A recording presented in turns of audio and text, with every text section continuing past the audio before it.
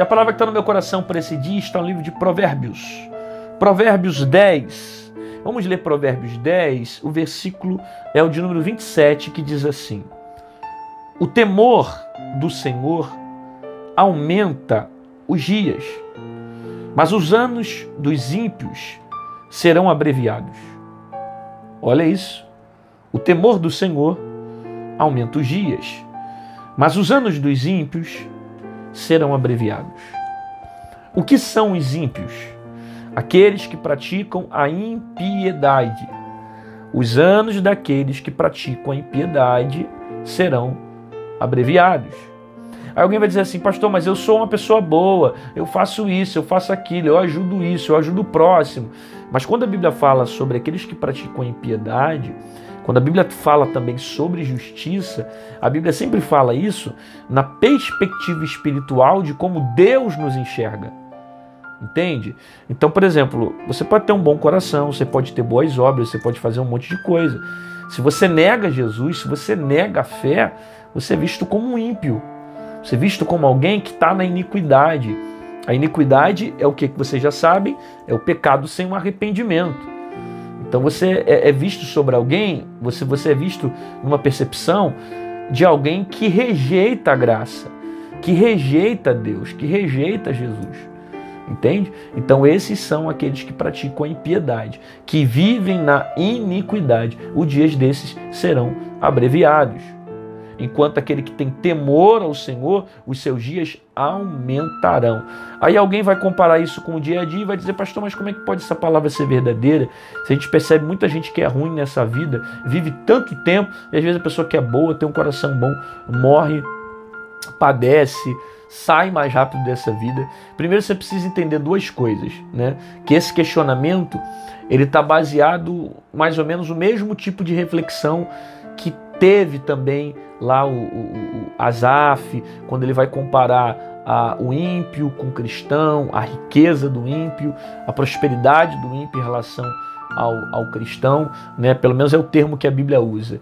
Uh, e no final de tudo ele vai descobrir que a maior diferença do ímpio para o justo está na morte. Né? Que quando o justo morre, o seu tempo é estar com Cristo, e o ímpio ele vai para sua própria condenação. Então, quando a Bíblia fala que os dias serão aumentados, os dias serão abreviados, é obviamente que a Bíblia não está falando só dessa terra.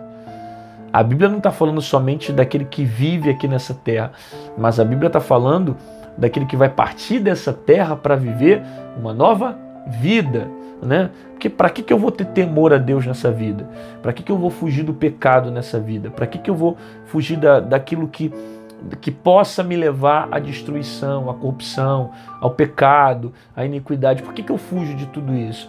Porque eu entendo ah, que tendo uma vida de temor e buscando ao Senhor, eu vou ter uma recompensa que não será somente nessa vida, mas é partir dessa vida com Cristo, partir dessa vida com Jesus. Então nós guardamos esses princípios no nosso coração aquele que tem o temor, o temor ele não é usado somente para essa vida, para eu ter longa vida aqui, até porque a vida aqui ela é rápida, ela é passageira, ela não é longa, né? Longa vai ser a nossa eternidade com Deus, quando nós temos esse temor e desfrutamos dessa palavra que está registrada para nós aqui, que é aquele que tem temor a Deus, os seus dias aumentarão, mas aquele que anda na impiedade, os seus dias serão abreviados viado.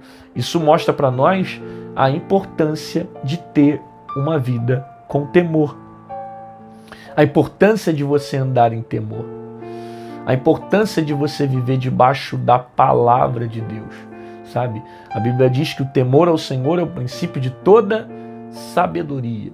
Então, quando a pessoa perde o temor, ela acaba perdendo tudo, cara. Porque o temor é o que impede ela de tomar decisões erradas, de caminhos errados, de entrar em lugares errados, do pecado não gerar iniquidade sobre a vida dela. Tudo isso é o temor. E se perder o temor, perde-se tudo, sabe? Então é, você precisa preservar isso em Deus, preservar sua fé, preservar o teu espírito no Senhor, para que nunca falte temor no seu coração, para que sempre você Se refira a Deus com temor, se relacione com Deus com temor, fuja das coisas do pecado, desse mundo com temor, para viver e desfrutar daquilo que Deus tem preparado para você. Aquele que anda no temor, os seus dias aumentarão, mas aquele que anda na impiedade, seus dias serão abreviados. Ou seja, ah, ele só vai perder, só perde caminhar no caminho da impiedade, da iniquidade. Não é isso que Deus tem para mim, não é isso que Deus quer para mim. Eu preciso entender que Deus quer que todos sejam salvos, mas nem todos serão salvos, porque você tem o direito, o livre-arbítrio de escolher entre estar com Deus ou não, de rejeitar Jesus ou não, de rejeitar as obras dele ou não. A decisão é sua. Se você escolhe andar em temor andar na impiedade, andar segundo a palavra de Deus ou andar segundo as suas vontades, andar segundo o direcionamento do Espírito ou andar segundo a opinião dos outros.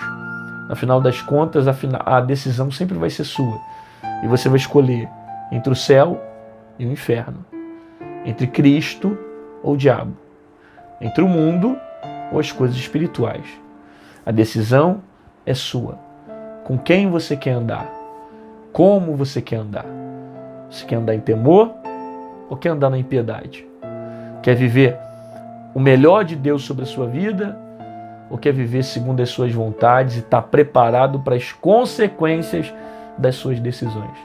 Não sei. As atitudes é você que escolhe. O caminho é você que vai determinar. Mas a oportunidade de Deus são para todos.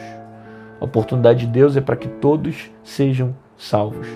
Agora, se você vai escolher andar na impiedade ou no temor, a escolha sempre vai ser sua. Pai, obrigado pela tua palavra, pela oportunidade que temos de ouvir a tua voz.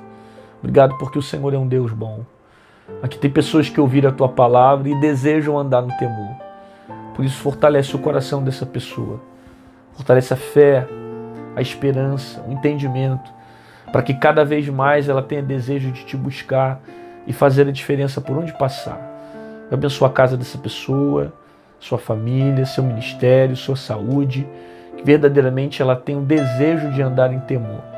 Eu abençoo a casa dela, em nome de Jesus. Amém. Glória a Deus. Que bom que você ficou comigo aqui até o final desse vídeo. Deus falou com você, recebeu essa palavra. Concorda que tem muito mais gente que precisa ouvir a voz de Deus.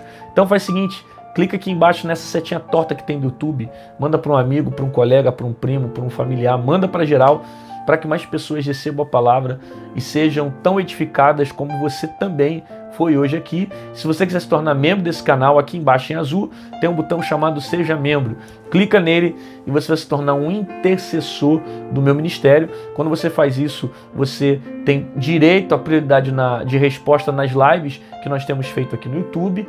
E também, na hora que você comenta aqui embaixo, aparece o selozinho de membro, que é muito legal, que mostra que você está apoiando esse canal. E acima de tudo, você se torna um mantenedor, um intercessor do projeto que é o Manhã de Paz, os devocionais que nós temos gravado todos os dias aqui no YouTube. Ah, pastor, eu não queria ser colaborador, mas eu queria de alguma forma deixar uma semente na sua vida. Como é que eu faço para semear no seu, no seu ministério? Aqui do lado tem o nosso QR Code e aqui em cima tem o nosso número Pix. Qualquer uma dessas formas você pode estar fazendo e realizando aquilo que Deus tem colocado sobre o teu coração. Faça isso com alegria, faça isso com amor, faça isso porque você entende que é relevante a propagação da palavra de Deus aqui na internet. Te aguardo aqui amanhã às 6 horas da manhã com a palavra poderosa para o teu coração e fica com essa palavra na tua alma. É melhor andar em temor e os seus dias sejam prolongados do que ficar andando na impiedade e teus dias abreviados. É muito melhor caminhar com Cristo que tem eternidade do que andar nessa vida sem Jesus, rejeitá-lo e sofrer as consequências de uma decisão sem Cristo. Escolha andar em temor, viver em temor e caminhar de acordo com a vontade de Deus.